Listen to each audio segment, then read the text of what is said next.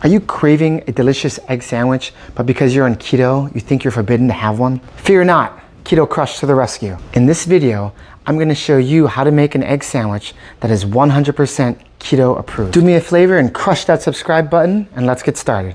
The first ingredient you'll need is three tablespoons of a mild oil. Personally, I love avocado oil. Once you've combined these two ingredients, go ahead and beat them until well blended. For your dry ingredients, you'll need one tablespoon of coconut flour, a teaspoon of baking powder, one tablespoon of powdered gelatin, and a tablespoon of your favorite sugar alternative. Be sure to mix these ingredients thoroughly so that we can avoid clumping in the next step. Now slowly combine the two ingredients until the two make a perfect batter. The sky's the limit with this base, folks. For instance, you could add banana extract, cinnamon, and some crushed walnuts for a wicked banana bread. If you come up with something awesome, let me know in the comments so I can try it out. So once that batter was made, I put it in the microwave for 90 seconds. That's it.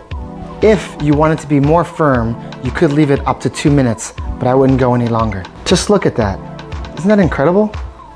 It falls right out.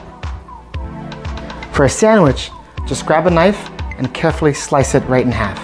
For a soft yet crispy texture, it's essential that you toast the buns in butter or bacon fat.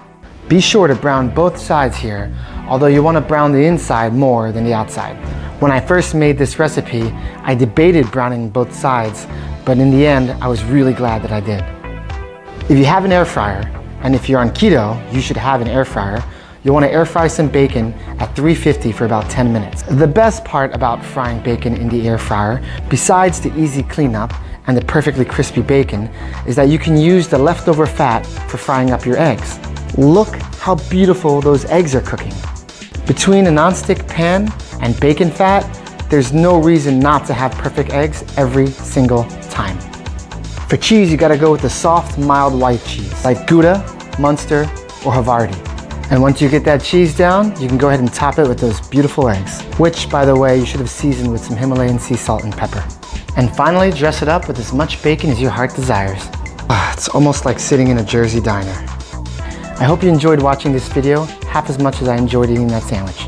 For more keto content, subscribe to Keto Crush or tell a friend about us. With your support, I can keep the keto content coming week after week. Keto Crush. Eat healthy, look hot.